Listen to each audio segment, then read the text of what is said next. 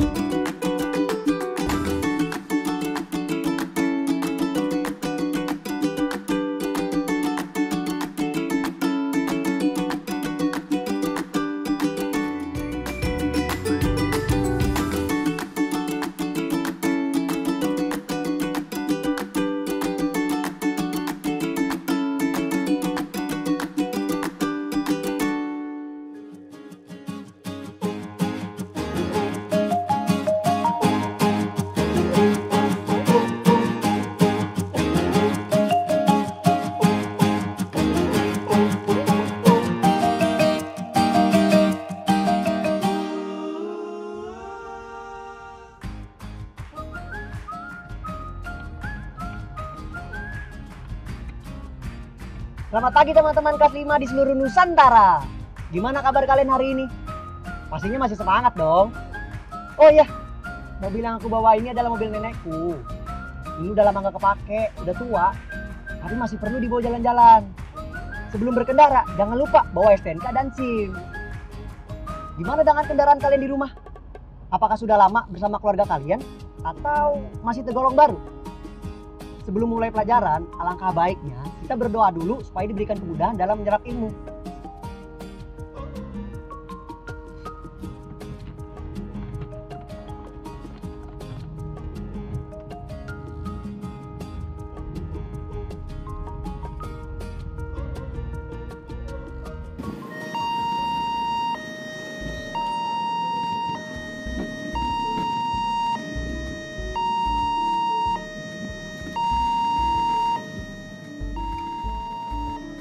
Kita harus tertib di sini, menunggu sampai benar-benar aman untuk melintas.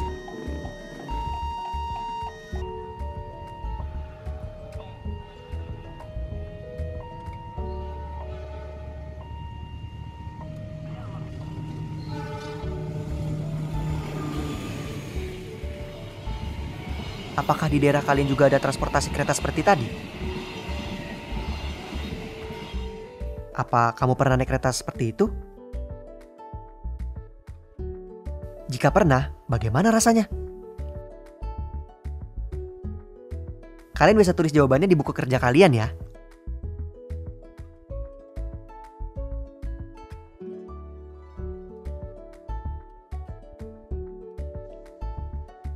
Rel kereta api pertama di Indonesia dibangun pada tanggal 17 Juni 1864 di Desa Kemijen, Jawa Tengah. Rel ini mengambil rute Solo sampai Yogyakarta. Panjang rel kereta pertama dibuat sepanjang 24 km dengan lebar jalur 1435 mm. Dan kereta pada saat itu masih menggunakan lokomotif uap. Tiga tahun setelah pembangunan rel, dibangunlah stasiun kereta api pertama, yaitu Stasiun Semarang Gudang. Di tahun 1876 atau 9 tahun kemudian pembangunan jalur kereta api di Pulau Sumatera dimulai. Lalu, di tahun 1922 atau 46 tahun kemudian, pembangunan jalur kereta di Sulawesi baru dimulai. Semakin majunya zaman, kereta api pun mengalami perubahan agar lebih modern dan memudahkan manusia. Di tahun 1925, lokomotif listrik masuk ke Indonesia tepatnya di Jakarta dan merintis layanan kereta rel listrik komuter atau yang dikenal sebagai KRL. Di tahun 1953, lokomotif diesel masuk ke Indonesia. 10 tahun kemudian, lokomotif diesel hidrolik masuk ke Indonesia. Lokomotif ini bermesin diesel dan umumnya menggunakan bahan bakar mesin dari solar. Pada perkembangannya, lokomotif diesel berkembang menjadi dua jenis. Yang pertama, lokomotif diesel hidrolik yang masuk ke Indonesia pada tahun 1963 dan yang kedua, lokomotif diesel elektrik yang masuk ke Indonesia tiga tahun kemudian. Di tahun 2000-an, sistem kereta api nasional mengalami kemajuan karena masuknya sistem komputerisasi. Saat ini, Indonesia memiliki lebih dari 6.000 km rel kereta api. Namun, sekitar sepertiga dari rel tersebut sudah tidak beroperasi. Lebar sepur di masa sekarang juga ada dua jenis. Yang pertama 1435 mm dan yang kedua 1067 mm. Indonesia sendiri telah memiliki lebih dari 540 stasiun dan lebih dari 340 lokomotif.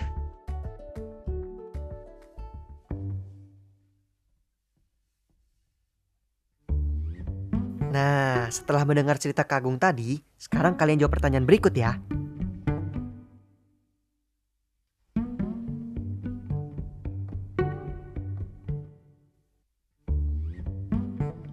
Sekarang yuk kita bahas sama-sama ya jawabannya. Pertanyaan pertama. Di kota apa stasiun kereta api pertama kali didirikan?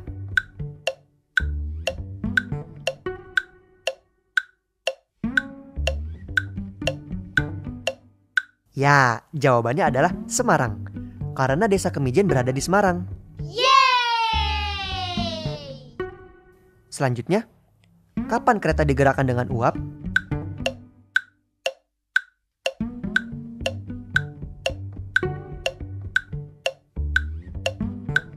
Benar, jawabannya adalah pada masa dahulu. Yeay!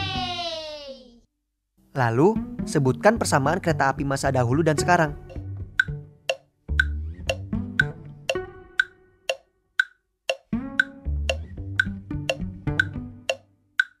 Sebenarnya ada banyak sekali persamaannya. Namun, salah satunya adalah keduanya punya rel yang memiliki lebar sepur yang sama, yaitu 1435 mm. Yeay! Pertanyaan terakhir. Sebutkan perbedaan kereta api masa dahulu dan sekarang.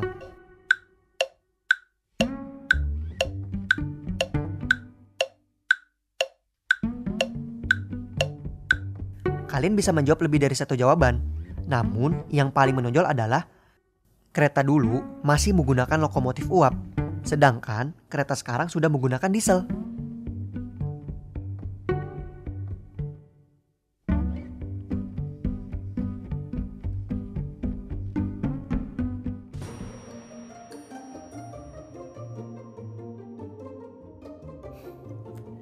Setelah kalian mendengar penjelasan tentang kereta dari zaman ke zaman, sekarang saatnya kalian mencoba untuk menulis perbedaan dan persamaan alat transportasi dalam sebuah kalimat karangan. Setelah selesai, kalian bisa bacakan ke orang tua atau wali kalian di rumah untuk meminta pendapat mereka. Ayo berlatih. Teman-teman, sekarang kita belajar soal penggunaan akhiran i. Sih maksudnya? Coba perhatikan beberapa kalimat berikut ini. 1. Tutupi mobil antik agar tidak terkena sinar matahari terus-menerus.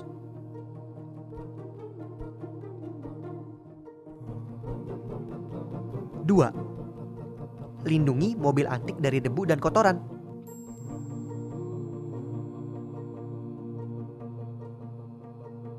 3. Olesi bagian-bagian yang perlu dengan pelumas.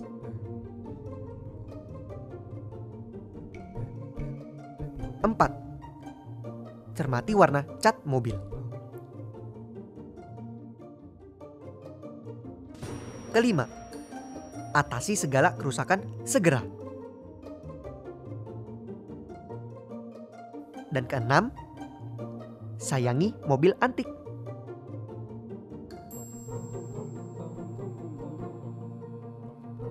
Seperti yang kalian lihat di layar. Kata pertama pada kalimat-kalimat di layar menggunakan akhiran i. Akhiran i yang digunakan pada kata kerja membentuk sebuah kalimat perintah baru. Jangan lupa untuk selalu mengakhiri kalimat perintah dengan tanda seru ya. Sekarang saatnya kalian untuk berlatih. Seorang teman akan meminjam sepeda kesayangan kalian. Tulislah empat kalimat perintah atau instruksi cara merawat sepeda kepada teman kalian. Tuliskan kalimat tersebut di buku kerja kalian ya.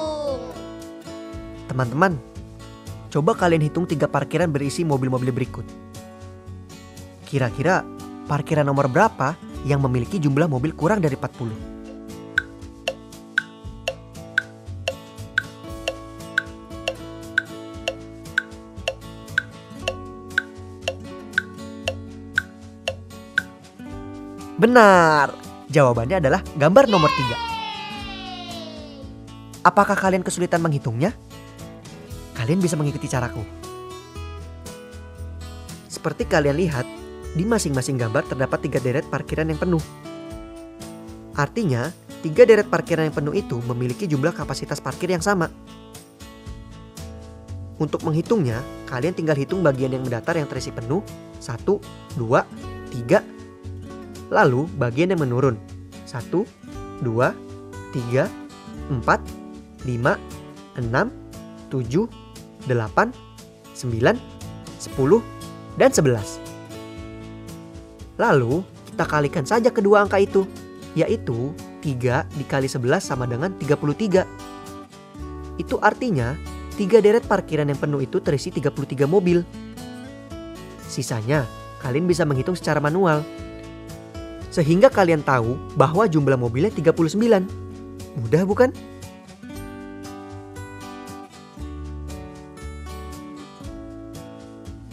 Perhatikan roda sepeda bunga. Roda-roda ini berputar sehingga bunga bisa sampai di tujuan.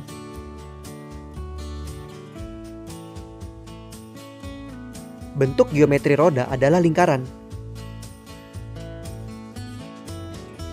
Tahukah kamu kenapa roda dibuat berbentuk lingkaran? Selain karena lingkaran lebih stabil dan seimbang, alasan lainnya adalah untuk mengurangi gaya gesek dengan permukaan lantai.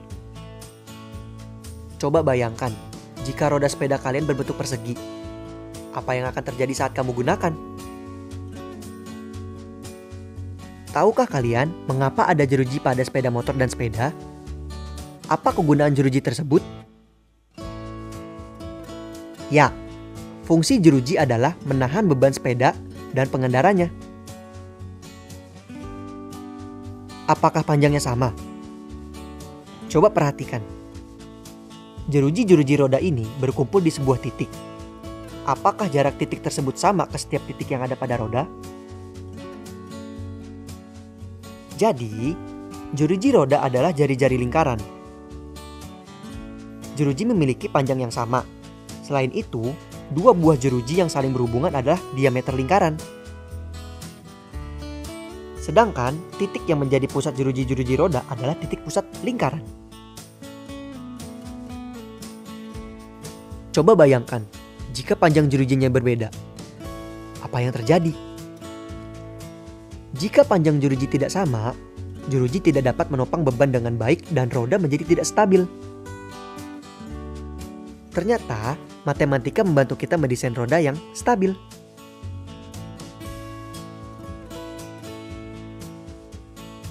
Empat. Menghitung apa Gilang? Ini kak, lagi hitung angkot. Lewat berapa kali selama satu jam? Ternyata udah empat kali ini. Jadi dia lewat tiap 15 menit kayaknya. Iya benar. Karena sekarang jalan ini agak sepi. Dulu angkot lewat 10 menit sekali. Jadi lebih banyak yang lewat dalam waktu satu jam. Gilang sedang mendata banyaknya angkutan umum yang lewat di depan rumahnya. Angkutan umum dijadwalkan lewat setiap 15 menit sekali. Kak Diana mengatakan, dahulu angkutan umum dijadwalkan setiap 10 menit sekali. Ayo bantu Gilang melengkapi tabelnya. Sekarang kalian bantu Gilang mengisi tabel A. Kalau kendaraan lewat setiap 10 menit sekali, maka ayo kita hitung dengan pergerakan jarum jam ini. Dari angka jam 9 lewat 30 menit dan berhenti setiap menit ke 10 sampai nanti jam 10.15. 1 2 3 4 4 li. Eh stop. Yang ini tidak dihitung karena belum 10 menit. Berarti banyaknya kendaraan yang lewat 10 menit sekali dari jam 9.30 sampai 10.15 adalah 4 kendaraan sekarang kalian bisa isi kolom lainnya ya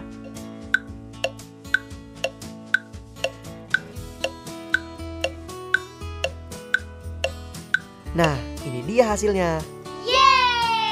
Dengan tabel yang ada di atas, sekarang waktunya kalian memasukkan data yang ada di tabel ke dalam diagram batang yang ada di layar. Caranya, kalian bisa jumlahkan sesuai pengelompokan yang ada di bawah diagram batangnya. Gambar di buku kerja kalian ya.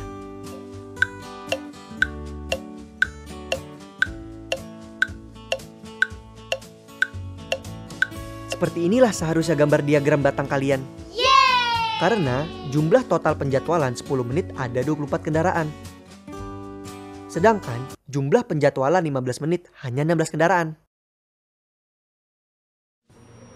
Proyek kreatif minggu ini.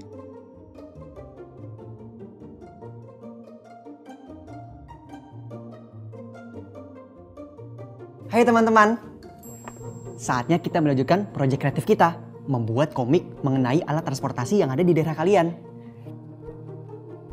Setelah kemarin kalian menggali informasi dan membuat data pendukung, kini saatnya kita mulai merancang komiknya. Pertama, kalian harus membuat alur cerita untuk komik yang akan kalian buat. Jawab pertanyaan berikut untuk membantumu membuat alur cerita. Pertanyaan pertama, siapa tokoh utama? Nama, kesukaannya, dan keinginannya. Yang kedua, apa hambatan yang dihadapinya? Dan yang ketiga, bagaimana ia mengatasi hambatan tersebut? Setelah membuat alur cerita, sekarang saatnya menyiapkan langkah-langkah selanjutnya. Pertama, kalian harus menentukan jumlah panel atau kotak yang kalian perlukan pada satu halaman. Jumlah dan ukuran panel disesuaikan dengan kebutuhan cerita. Lalu, pilihlah satu alat transportasi di daerah kalian yang akan kalian ceritakan. Kalau aku sih menceritakan soal mobil VW nenekku. Nah, jangan lupa sertakan data-data pendukung agar ceritamu lebih menarik lagi. Selanjutnya, buatlah sketsa dengan menggunakan pensil. Panel 1 digunakan untuk menulis judul dan namamu sebagai penulis. Panel kedua dan seterusnya digunakan untuk menulis cerita. Mudah kan? Selamat berkreasi ya teman-teman. Ayo, berani berkreasi. Refleksi. Tidak terasa ya kita sudah akan berakhir pembelajaran kita. Kini saatnya kita melakukan refleksi.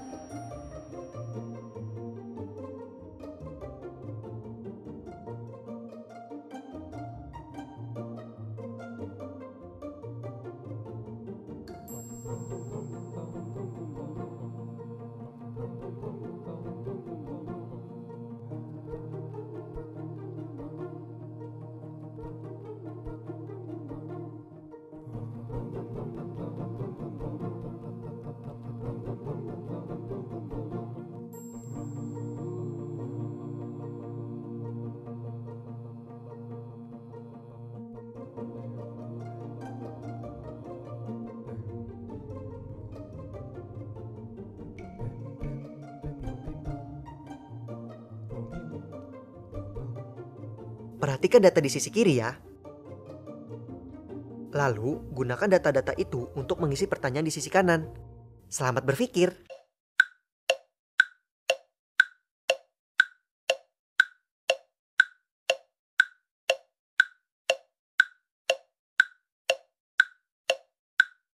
Kita bahas sama-sama ya teman-teman. Untuk jawaban soal nomor satu, karena bertambah banyaknya pasien COVID, apakah ada dampak terhadap banyaknya penumpang kereta di wilayah Sumatera?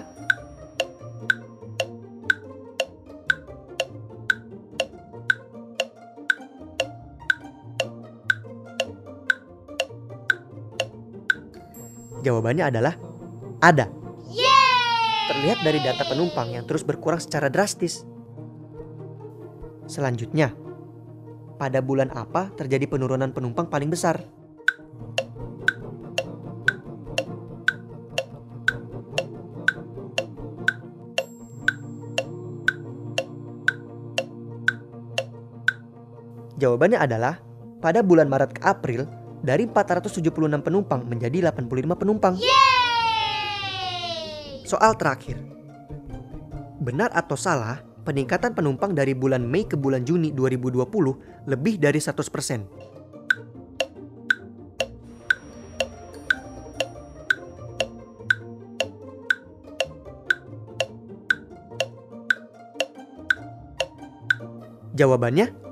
benar. Bulan Mei 8 penumpang. Sementara bulan Juni 18 penumpang. Artinya kenaikannya sebesar 125%.